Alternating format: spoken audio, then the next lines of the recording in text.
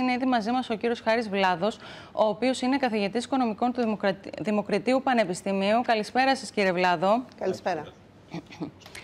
Λοιπόν, η αλήθεια είναι ότι βρισκόμαστε σε έναν ε, αναβρασμό σε επίπεδο οικονομίας. Είναι και τα ελληνοτουρκικά. Είχαμε τη Σύνοδο Κορυφής, μέσω της, μέσα από την οποία περάσαμε διαπυρός και σιδήρου τελικά εμφανίστηκε θετική ελληνική κυβέρνηση. Δεν θέλω όμως να μείνουμε στο θέμα αυτό, ενδεχομένως να μας σχολιάσετε στη συνέχεια της εκπομπής. Θα ήθελα να μείνουμε περισσότερο στην οικονομία, διότι την Δευτέρα έχουμε την κατάθεση του προπολογισμού, έχουμε και το Eurogroup. Η ελληνική κυβέρνηση καλείται σε αυτή τη φάση να κάνει προβλέψεις όσο μεγάλη και αν είναι η αβεβαιότητα μπροστά.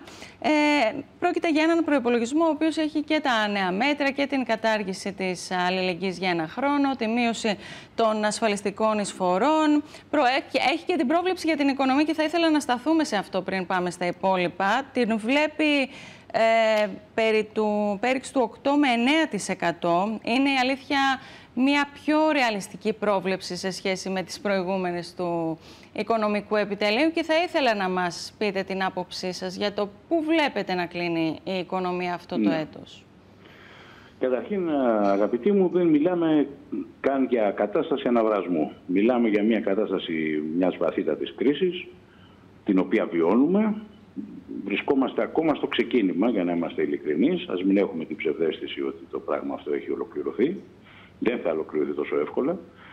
Ε, θυμάμαι την προηγούμενη συνάντησή μας, που είχατε επίσης την ευγενή καλοσύνη να με καλέσετε, που είχαμε από εκείνη την εποχή, μιλάω για το Μάρτιο ε, του 2020, είχαμε σημειώσει και είχαμε υπογραμμίσει ότι μπροστά μας βρισκόμαστε σε μια τεράστια κρίση, ίσως τη μεγαλύτερη κρίση των τελευταίων 100 ετών. Αυτό το πράγμα όντως επαληθεύτηκε και δυστυχώς επαληθεύεται και το δυσμενές σενάριο ενός δεύτερου κύκλου της πανδημίας που πλήττει πλέον όλο τον πλανήτη κάνοντας τις προοπτικές ακόμα πιο μελαγχολικές. Τότε θυμάμαι είχα κάνει την πρόβλεψη ότι γύρω στο μείον 10% θα κινηθεί το ΑΕΠ μας, θα είχαμε δηλαδή μια έφυση γύρω στο 10%. Από ό,τι φαίνονται τα πράγματα, αυτή η πρόβλεψή μου τίνει να επαληθευθεί. Απ' την άλλη μεριά, το συνολικό περιβάλλον που έχουμε γύρω μας, Δηλαδή και η, ο τρόπος με τον οποίο αντιμετώπισε η Ευρωπαϊκή Ένωση την Τουρκία και την επιθετικότητά της και όλο το πλέγμα των σχέσεων και των προβλημάτων που αντιμετωπίζουμε σήμερα δεν είναι μεταξύ τους ασύνδετα. Δηλαδή θα ήταν λάθος η οικονομική μου ανάλυση αν δεν συμπεριελάμβανε και όλες αυτές τις διαστάσεις. Ξέρετε, μια κρίσιμη διάσταση, ίσως η κρισιμότερη διάσταση, να είναι η διάσταση της εμπιστοσύνης. Γιατί χωρίς εμπιστοσύνη δεν υπάρχει περίπτωση να επανεκκινήσει και να ξαναγυρίσει η οικονομία μας σε θετικό πρόσημο. Σε ένα καθεστώς δηλαδή αβεβαιότητας που προέρχεται από οποιοδήποτε λόγο, όχι μόνο από την πανδημία αλλά και από την γεωπολιτική αστάθεια ή από οποιονδήποτε άλλο λόγο, από το μεταναστευτικό προσφυγικό, όλα αυτά επιτείνουν τα προβλήματα της οικονομίας μας, η οποία δεν τα πηγαίνει καθόλου καλά δεν τα πηγαίνει καθόλου καλά, παρότι η κυβερνητική πολιτική ως σήμερα, σε όρους πρώτων βοηθειών, στα δικά μου τα μάτια, με τη δικιά μου την εκτίμηση, θα έχει πάει πάρα πολύ καλά. Δηλαδή πιστεύω ότι σε πολύ μεγάλο βαθμό βρίσκεται κοντά στο άριστα ο χειρισμός των πρώτων βοηθειών από την πλευρά της οικονομικής μας πολιτικής. Όμως κύριε Βλάδο αυτό μπορεί να αλλάξει από στιγμή σε στιγμή με την έννοια ότι ήδη οι θεσμοί και όχι μόνο για μας αρχίζουν και βάζουν τους περιορισμούς τους πάλι. Δηλαδή, ε, τα μορατόρια εξήγησε η, Ευρω... η... η... η ΕΜΠΑ, η Ευρωπαϊκή Αρχή Τραπεζών, εξήγησε ότι σταματούν, σταμάτησαν στο τέλος Σεπτεμβρίου και αποτελούν πια ε, ευθύνη των τραπεζών, που σημαίνει ότι αν κάνουν κακό χειρισμό, αλλά και οποιονδήποτε χειρισμό να κάνουν, πρέπει να πάρουν προβλέψεις και ούτω καθεξής. Αυτό είναι ένα μικρό δείγμα. Γιατί αρχίζουμε και βλέπουμε τη λογική της κατά περίπτωση αντιμετώπισης των πραγμάτων. Άρα μπαίνουμε σε, κάποιους, σε κάποιες στενοπούς διαφορετικές ε, που θα σταματήσει αυτή, η, αυτό το large το οποίο υπήρχε μέχρι στιγμής. Αγαπητή κυρία Σακελάρη και παλιά μου συμμαθήτρια του Δημοτικού που τα λέμε και επικοινωνούμε μετά από 30 χρόνια, ναι. πάρα πολύ σωστή. πάρα πολύ σωστή η τοποθέτησή σας και πολύ ορθή και πλήρης. Αυτή τη στιγμή ζούμε σε κατάσταση που όλοι μας αντιλαμβάνονται στα πλαίσια της Ευρωπαϊκής Ένωσης σε μία συνθήκη εκτός κανονικότητας. Η κανονικότητα βέβαια κάποια στιγμή θα γυρίσει. Και όταν επιστρέψει η κανονικότητα, λογικό είναι όλα όσα έχουμε συμφωνήσει να αρχίσουν πάλι να γίνονται πράξη. Δεν, δεν θα διαφύγουμε δηλαδή τα δομικά προβλήματα της οικονομίας μας εξαιτίας. Από ποιο σημείο όμως θα ξεκινήσουμε; δηλαδή λοιπόν. θα ξεκινήσουμε και χαμηλότερα. Γιατί... όχι μόνο, όχι μόνο χαμηλότερα. Όχι μόνο χαμηλότερα. Δεν θα το κάνω ιδιαίτερα τεχνικό το ζήτημα, αλλά για να έχουμε μια πληρότητα. Αυτή τη στιγμή η κρίση χτυπάει την οικονομία μας σε τρία επίπεδα. Στο μακροοικονομικό, στο μεσοοικονομικό και στο μικροοικονομικό. Εν συντομία τι εννοώ. Σε επίπεδο μακροοικονομικό είναι σαφέστατο ότι ο υψηλότατος το υψηλότερο ποσοστό ύφεσης έχει αδυνατήσει όλες τις διαστάσεις του οικονομικού μας συστήματος. Και πλέον βρισκόμαστε στα όρια του δημοσιονομικού εκτροχιασμού. Είτε έχοντας τη βοήθεια της Ευρωπαϊκής Ένωσης και του Ταμείου Ενίσχυσης και Ανάκαμψης, είτε όχι, η δημοσιονομική μας ισορροπία πλέον έχει χαθεί. Βρισκόμαστε δηλαδή σε, στα κόκκινα νερά. Και κάποια στιγμή οι αγορές, αυτά τα κόκκινα νερά, όταν θα αρχίσουμε να επανερχόμαστε στο παγκόσμιο οικονομικό σύστημα σε συνθήκες έτσι, μεγαλύτερης κανονικότητας, θα το θέσουν μπροστά. Σε επίπεδο μεσοοικονομικό τώρα η κρίση. Τι σημαίνει αυτό; Πάρα πολλές περιοχές της Ελλάδας και πάρα πολλοί κλάδοι οικονομικής δραστηριότητας και δεν αναφέρουμε μόνο στενά στον τουρισμό ή στην εστίαση, που θίγονται περισσότερο, αλλά και πολλοί άλλοι κλάδοι, ο κλάδος των μεταφορών για παράδειγμα, ο κλάδος του λιανικού εμπορίου, έχουν δεχτεί σημαντικότατα πλήγματα που μάλιστα αν τα εντοπίσεις και σε συγκεκριμένες περιοχές της Ελλάδας, συγκεκριμένα στις λιγότερο ανεπτυγμένες περιοχές, στις λιγότερο ανεπτυγμένες περιφέρειες, το πράγμα είναι πάρα πολύ δύσκολο στη, στη διαδικασία της επανάκαμψης. Μην το θεωρείτε αυτόματο. Και πάνω σε αυτό θα κάνω μια σημείωση mm-hmm. αμέσως μετά. Και βέβαια το κρισιμότερο είναι το επίπεδο του μικροοικονομικό το επίπεδο του κιτάρου, το επίπεδο της επιχείρησης. Η τυπική ελληνική επιχείρηση σήμερα, μέσα σε αυτές τις συνθήκες, δυστυχώς κάνουμε το λάθος να νομίζουμε ότι το μόνο που έχει ανάγκη είναι χρηματοδοτική ενίσχυση. Αυτό δυστυχώς είναι άστοχο. Αυτό δυστυχώς είναι η κυρίαρχη αντίληψη και όλων των αναλυτών. Λέμε δηλαδή ότι οι τράπεζες πρέπει να δώσουν πιο πολλά λεφτά και μάλιστα βάζοντας σε δεύτερη μοίρα την ε, το αξιόχρεο ενδεχομένως κάποιων επιχειρήσεων, πράγματα δηλαδή τα οποία ακουμπάνει και το όριο του, πώς να το πούμε, του, του κομικοτραγικού. Να ζητάς να σε δανείσει κάποιος όταν ξέρει ότι αυτά τα χρήματα δεν πρόκειται ποτέ να τα λάβει πίσω.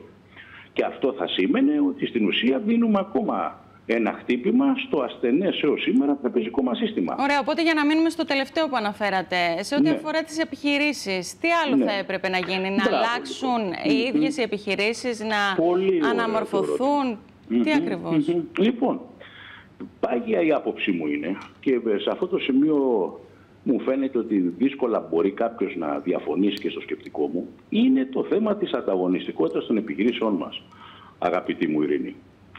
Δυστυχώς αυτό το πικρό ποτήρι συνεχώς το, το σπρώχνουμε μακριά. Είναι ένα κουτάκι που συνεχώς το κλωτσάμε για να πάει παρακάτω. Ε, δεν μπορούμε να ξεφύγουμε. Μα πώς θα, επι... Ε, πώς θα επιβιώσει, μάλλον πώς θα γίνει Μπράβο. ανταγωνιστική μια επιχείρηση όταν καταρχήν δεν μπορεί να επιβιώσει. Ας ξεκινήσουμε από εκεί. Πώς, ναι. ναι, πώς όμως μπορεί να έχει προοπτικές επιβίωσης αν παραμένει αγαπητή Ειρήνη το στρατηγικό της δυναμικό σε ένα πολύ χαμηλό επίπεδο όταν έχει χαμηλότατες δυνατότητες άντλησης νέων τεχνολογικών δεδομένων και όταν η διαχείρισή της, το management, βρίσκεται σε επίπεδα, ε, πώς να το πούμε, να το πούμε αρχαϊκά, να το πούμε της φεντόνας. Δυστυχώς ένα πολύ μεγάλο μέρος των ελληνικών επιχειρήσεων, αυτό που συνήθως αποκαλούμε ο, ο κορμός, ο παραγωγικός, έχει μείνει πολύ πίσω και στα τρία αυτά επίπεδα. Και αυτό αποτυπώνεται στη χαμηλή ανταγωνιστικότητα και στη χαμηλή παραγωγικότητα. Και εδώ πέρα ερχόμαστε σε μια οπτική που πρέπει να πάει μετά τις πρώτες βοήθειες. Εδώ τα ευρωπαϊκά κονδύλια μπορεί να παίξουν ένα κάποιο ρόλο. Έτσι. Αυτά τα κονδύλια είναι μια ευκαιρία να κάνουμε τις αναγκαίες εγχειρήσεις στην οικονομία μας. Είναι δηλαδή κάτι το οποίο θα μπορέσει να μας δώσει προοπτική για το μέλλον. Μετά τις πρώτες βοήθειες πρέπει να δώσουμε πολύ μεγάλη έμφαση στο πώς θα μπορέσουμε τα τοπικά παραγωγικά συστήματα στην Ελλάδα, σε πολλούς κλάδους, πώς θα μπορέσουν όχι μόνο να αποκαταστήσουν την παρελθοντική τους δυναμική, πράγμα που θα είναι πάρα πολύ δύσκολο γιατί ξέρετε ο κόσμος αύριο ακόμα και στην κανονικότητά του, ακόμα και μετά την εφεύρεση του εμβολίου και με βάση περιπτώσει την αποκατάσταση του υγειονομικού κομματιού της κρίσης αυτής Δεν θα, θα, πρέπει, θα, πρέπει, θα πρέπει να βρει ένα νέο βηματισμό. Όταν οι αγορές θα ξαναρχίσουν να αναπτύσσονται τότε θα υπάρχουν κάποια rebound. Αλλά συνήθως το rebound ποιος το παίρνει; Το παίρνει ο ψηλός παίκτης της ομάδας αγαπητοί μου. Αυτός ο οποίος έχει χρόνια δομικά προβλήματα και αδυναμίες, αυτός που δεν μπορεί να πηδήξει, ε, αυτός δεν πρόκειται να υποφεληθεί από, την, από το άνοιγμα πάλι των αγορών. Και εδώ πέρα πρέπει να δώσουμε μεγάλη βάση και καθώς κάνουμε και την ανάλυση για τις προοπτικές ξεπεράσματος της κρίσης. Θυμάμαι πριν από μερικούς μήνες υπήρχε ένα ρεύμα αναλυτών το οποίο επέμενε ότι μετά την κρίση θα μπούμε σε μια λογική ΒΕ. Δηλαδή με το που θα, θα πιάσουμε ένα πάτο και αυτόματα θα εκτιναχθούμε στα σημεία στα οποία θα βρισκόμαστε, ε, βρισκόμασταν πριν. Βέβαια, αυτό, αυτό κύριε Βλάδο έχει να κάνει. Είμαι η Σοφία Ροδοπούλα, απλά ίσως δεν έχετε εικόνα. Ναι, Σοφία, ε, έχουμε λοιπόν, μία, με μία μικρή. Επειδή μπορεί να μην έχετε εικόνα και γίνεται ένα μπέρδεμα. Επειδή ναι. το πού θα φτάσουμε το επόμενο έτος νομίζω θα εξαρτηθεί και από το πού κλείνει ε, η τρέχουσα χρονιά. Και επειδή ακούμε την άποψη ότι ε, μπορεί να είναι μεγάλη ύφεση, αλλά όσο μεγαλύτερη είναι η ύφεση, τόσο όχι τόσο μεγάλη, ε, μπορεί να ε, δοθεί ε, μια όθηση τους ώστε να έχουμε μια καλή ανάπτυξη. Εδώ Αυτό είναι η διαφωνία μου, αγαπητή ναι. Σοφία. Η διαφωνία μου είναι αυτή, γιατί είναι σε πολύ μεγάλο βαθμό ψευδέσεις. Είναι σαν να το πω μεταφορικά. Είναι σαν κάποιος να πάθει ένα εγκεφαλικό και να λέμε ότι όσο πιο βαρύ είναι το εγκεφαλικό, τόσο πιο γρήγορα θα επανέλθει μετά την ε, παροχή ας πούμε, των πρώτων βοηθειών. Οπότε λέτε ότι δεν ισχύει αυτός ο ισχυρισμός. Δηλαδή, ε, η εκτίμησή μου είναι ότι καταρχήν δεν πρόκειται να υπάρξει για κανένα σημείο του πλανήτη ε, ανάπτυξη τύπου Β. Δηλαδή, ε, άντε, τώρα αυτό το χάσαμε, πάλι στην έτσι κι αλλιώς, το χάσαμε. Δηλαδή, αυτό δεν χάθηκε και αυτό είναι δεδομένο ναι. για όλο τον πλανήτη, ακόμα και για τις ισχυρότερες οικονομίες. Αν δεν υπήρχε δεύτερο δεν θα... άναναν, μπορεί Μπράβο. να το συζητούσαμε, αλλά τώρα Μπράβο. έχει χαθεί. Τελείωσε. Μα και όχι δε και να μην είχαμε και να είχαμε ας πούμε νωρίτερη την κατάληξη όλης αυτής της τεράστιας κρίσης και πάλι αυτό δεν θα επιταλικανόταν. Αλλά ακόμα περισσότερο τώρα. Δεν θα έχουμε επίσης εύκολα για πολλά ασθενή επιχειρηματικά οικοσυστήματα και ασθενείς οικονομικές περιοχές της χώρας μας, μας τουλάχιστον και βέβαια όχι μόνο της χώρας μας, δεν θα έχουμε ανάκαμψη ούτε καν τύπου Nike που λένε. Ναι. Ξέρετε, δηλαδή μία αργή επανάκαμψη. Εγώ πιστεύω ότι για ένα πολύ μεγάλο κομμάτι της οικονομίας μας και των περιφερειών μας θα βρεθούμε σε συνθήκες δυστυχώς πολύ κοντά σε ένα ΕΛ. Δηλαδή πέφτουμε και δεν ξανασηκωνόμαστε. Τώρα θα μου πείτε γιατί Αυτό τι σημαίνει σε νούμερα για να το καταλάβουμε. Το ΕΛ ναι, είναι ότι ναι. θα έχουμε μία μακρά περίοδο στασιμότητας. Μπράβο, στασιμότητα σε, σε, επίπεδο ένα πολύ χαμηλότερο επίπεδο. Για παράδειγμα, η Τράπεζα mm. της Ελλάδος εκτιμά ότι Ενδεικτικά το αναφέρω, ακούμε πολλές ναι. εκτιμήσεις οίκων, οικονομολόγων κτλ. Βλέπει μια ανάπτυξη στο 5,6%. Εγώ πιστεύω ναι. ότι δεν θα φτάσουμε σε ένα τέτοιο σημείο. Το, το θεωρώ ιδιαίτερα φιλόδοξο και αισιόδοξο. Ε, αν μπουν ε, όλα αυτά τα κονδύλια τα οποία υπολογίζουμε να μπουν στην οικονομία... να έρθουν, πολύ ωραία, και τα κονδύλια να έρθουν, ε, αγαπητές μου, αυτά τα κονδύλια, κοιτάξτε να δείτε ποια είναι η ψευδέστηση. Όταν βλέπεις μία πτώση του ΑΕΠ κατά 10%, ξεχνάς ότι μέσα σε αυτή την πτώση του ΑΕΠ του 10% είναι και το κλείσιμο πολλών επιχειρήσεων. Αυτές οι επιχειρήσεις, ακόμα και να αυξηθεί η ζήτησή τους σε ένα μελλοντικό χρόνο, θα είναι πλέον κλειστές. Άρα δεν μπορούν να παράγουν. Δεν αυτόματα δηλαδή η παραγωγή που έκαναν δεν θα μπορεί να υποκατασταθεί ακόμα και από τις επιχειρήσεις οι οποίες έμειναν. Δεύτερο το οποίο ξεχνάμε είναι ότι αυτές οι επιχειρήσεις που έκλεισαν και οι άνεργοι που άφησαν, όποια και να είναι και η ενίσχυση των πρώτων βοηθειών και η υποδηματική από την πλευρά του κράτους, δεν έχουν επαρκή εισοδήματα και κυρίως δεν έχουν εμπιστοσύνη και αισιοδοξία για το μέλλον που έρχεται. Οπότε η κατανάλωσή τους είναι περιορισμένη. Αυτό είναι μια δεύτερη επίπτωση. Και τρίτον, που ίσως για μένα είναι και το σημαντικότερο.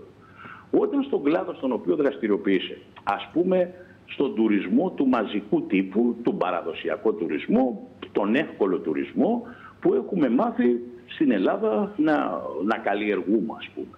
Ε, αυτός ο τουρισμός δεν πρόκειται ποτέ να επανέλθει. Ωραία. Δηλαδή, ακόμα και να βρεθεί το φάρμακο, μην φανταστείτε ότι κάποιες περιοχές της Ελλάδας που είχαν μάθει να στηρίζουν ένα ποσοστό της παραγωγής τους σε αυτόν τον εύκολο τουρισμό, θα συνεχίσουν, θα ξανακαταφέρουν να, να τον έχουν Ωραία, και κύριε να παράγει Βλάθ, εισόδημα. Οπότε, εδώ έχουμε Ναι. δύο τεινά. Από τη μία, μιλάμε για την εκταμείευση των κονδυλίων μέσω του Ταμείου Ανάκαμψη, στο οποίο βέβαια ξεχνάμε ότι αυτό θα είναι σε συνέχεια της εφαρμογής ενός συνολικού σχεδίου, το οποίο Ναι. καταρτίζει αυτή τη στιγμή η ομάδα Πισαρίδη.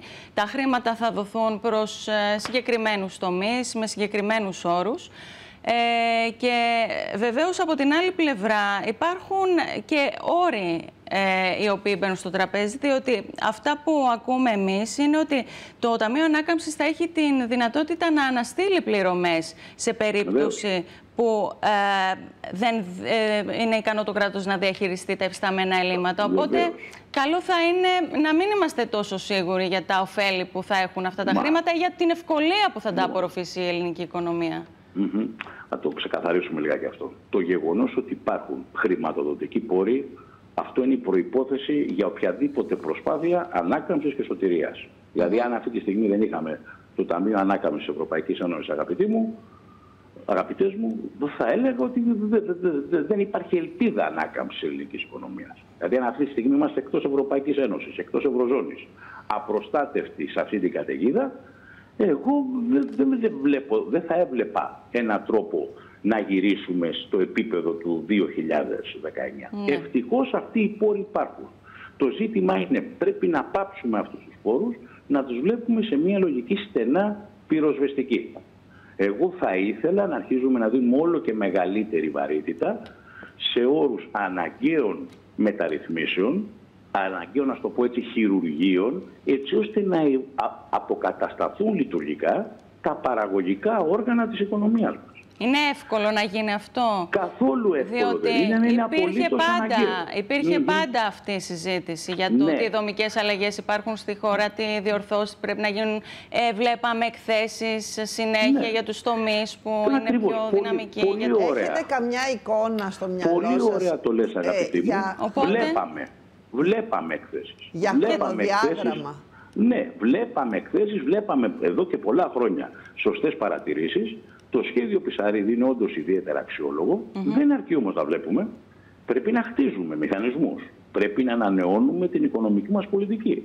Για μένα, για παράδειγμα, κάτι με τεράστια σημασία είναι ο τρόπος που θα βρούμε επιτέλους έτσι ώστε να διασυνδέσουμε αποτελεσματικά το παραγωγικό μας σύστημα με τα πανεπιστήμια μας. Αυτό που έχουν καταφέρει πάρα πολλές άλλες χώρες.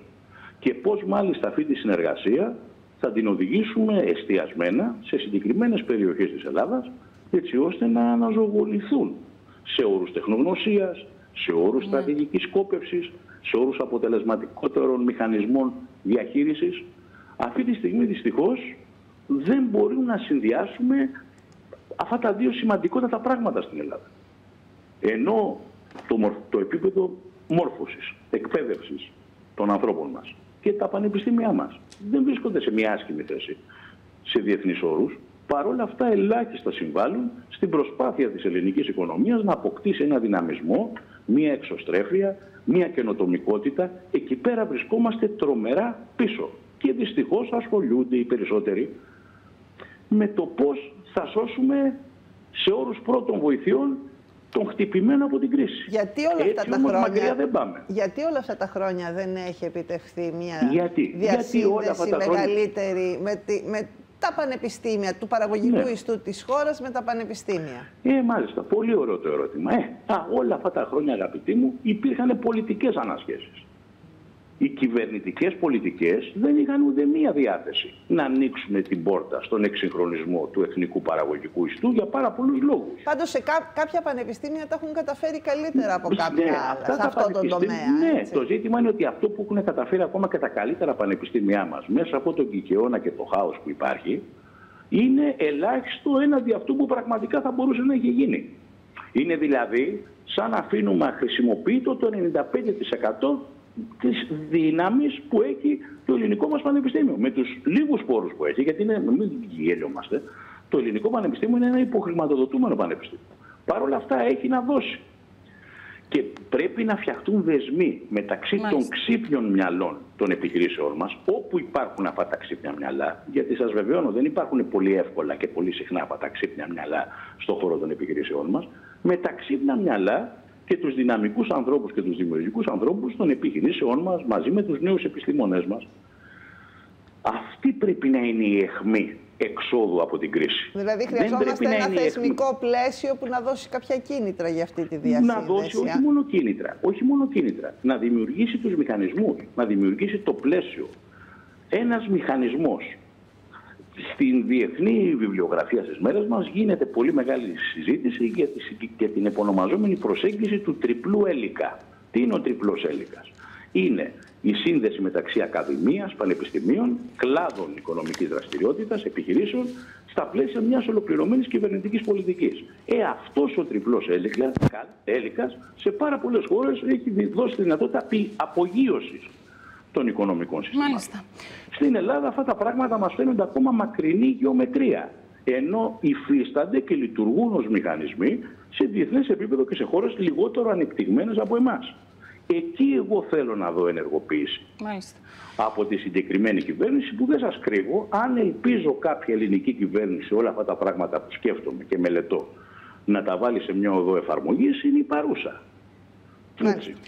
Κύριε Βλάδο, μας είπατε πολλά και σημαντικά. Εγώ κρατώ την πρόβλεψή σας για ύφεση του 10% που την είχατε πει ε, Από εξ Μάρτιο. αρχής ε, και από ό,τι φαίνεται επιβεβαιώνεται, κατά εκεί πάμε.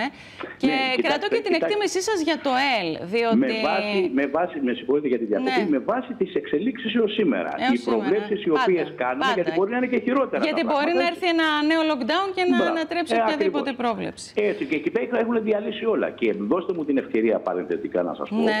ότι σίγουρα το υγειονομικό κομμάτι δεν πρέπει να μας αφήνει αδιάφορους, αλλά ας κοιτάζουμε και από την άλλη πλευρά το ενδεχόμενο ενός γενικευμένου lockdown δεν θα αφήνει την ευκαιρία στο μέλλον να έχουμε σύστημα υγείας. Έτσι. Δηλαδή να τα πούμε ξεκάθαρα τα πράγματα. Αν δεν έχεις οικονομία δεν έχεις υγεία. Ας μην τρέφουμε αυτές τις αυταπάτες. Σωστά. Λοιπόν, Αν να δεν σας... σωθεί η οικονομία μας, αλλά μου, μου είπατε για, το, για, το, για την εξέλιξη τύπου L. Σας διέκοψα, με Ναι, συγχωρείτε. ε, όχι, απλά έλεγα ότι είναι λίγο πιο παράτολμος ως εκτίμηση, γιατί δεν το έχουμε ακούσει. Για πολλές περιοχές, αγαπητοί μου, δυστυχώς αυτό είναι η αλήθεια. Μάλιστα. Δηλαδή περιοχές οι οποίες ζούσαν στην Ελλάδα σήμερα σχεδόν αποκλειστικά από έναν εύκολο επιφανειακό τουρισμό, μην περιμένετε αυτές οι περιοχές να ξαναποκτήσουν αυτόν τον τουρισμό που είχαν. Δεν Μάλιστα. πρόκειται δηλαδή να υποκατασταθεί η παλιά, ας το πούμε, να το πω, πώς να το πω, να το πω ακραία, η παλιά παράγκα, ας πούμε, που παρήχε τουρισμό χωρίς καμία υγειονομική πρόβλεψη με μια νέα παράγκα. Δεν πρόκειται ο τουρίστας πλέον ο διεθνής να πάει σε παράγκα που βάζει σε Ε, θα πρέπει να υποκατασταθεί από μια άλλη από κάτι άλλο. δραστηριότητα. Και όχι κατά, ενδεχομένως. μπράβο, όχι κατά ανάγκη στον χώρο του τουρισμού. Ε, αυτό ακριβώς, ναι. Ένα θα σας πω που έχει τεράστια σημασία, μέσα σε αυτές τις συνθήκες της εντονότατης κρίσης, πάρα πολλές χώρες και πάρα πολλές περιοχές μέσα σε αυτές τις χώρες έχουν βρει τεράστιες ευκαιρίες ε, ανάπτυξης. Ειδικά οτιδήποτε αφορά την τηλεεργασία, οτιδήποτε αφορά την παροχή υπηρεσιών από απόσταση, όλα αυτά τα πράγματα τα οποία βέβαια προϋποθέτουν ένα σχετικά υψηλό τεχνογνωστικό δυναμικό, που δεν λείπει όμως από τους ανθρώπους της οικονομίας μας. Έτσι. Μάλιστα. Ε, όλες, αυτές, όλες αυτές οι ευκαιρίες ανάπτυξης γιατί να πηγαίνουν χαμένες για τη χώρα μας. Έτσι, πρέπει πρέπει, κάποτε να να υπάρξει τις μια σωστή εκμεταλλευτούμε. στρατηγική. Μια στρατη... σωστή στρατηγική που προσέξτε, δεν χρειάζεται να είναι κρατικοκεντρική. Δεν θα τα περιμένουμε όλα να τα κάνει το κράτος. Δεν λέω κάτι τέτοιο επουδενή. Το κράτος το μόνο που μπορεί να κάνει είναι να δημιουργήσει. Θα δώσει τους τις μηχανισμούς, κατευθύνσεις και από εκεί και κάτι- πέρα ο- θα κα- κατευθύνσεις προσαρμοστούμε και όλοι. απλούς μηχανισμούς, λιτούς μηχανισμούς συντονισμού των προσπαθειών, έτσι ώστε να μπορεί να μπει το γκολ. Μάλιστα, Ξέρετε, λοιπόν. ο προπονητής δεν μπαίνει μες στο γήπεδο. Ο προπονητής δίνει απλά και μόνο κάποιες κατευθύνσεις, κάποιες οδηγίες και οι ποδοσφαιριστές παίζουν. Οι ποδοσφαιριστές είναι οι επιχειρήσεις μας και τα πανεπιστήμια μας. Μάλιστα. Μάλιστα. Λοιπόν, να σας ευχαριστήσουμε Ευχαριστούμε. πολύ κύριε Βλάδο που ήσασταν Εγώ σας μαζί μας ευχαριστώ πάρα πολύ για, την την φιλοξενία ε, σας ενδιαφέρουσα και συζήτηση. είμαι στη διάθεσή σας. Να είστε καλά. Ευχαριστούμε. Ευχαριστούμε πολύ.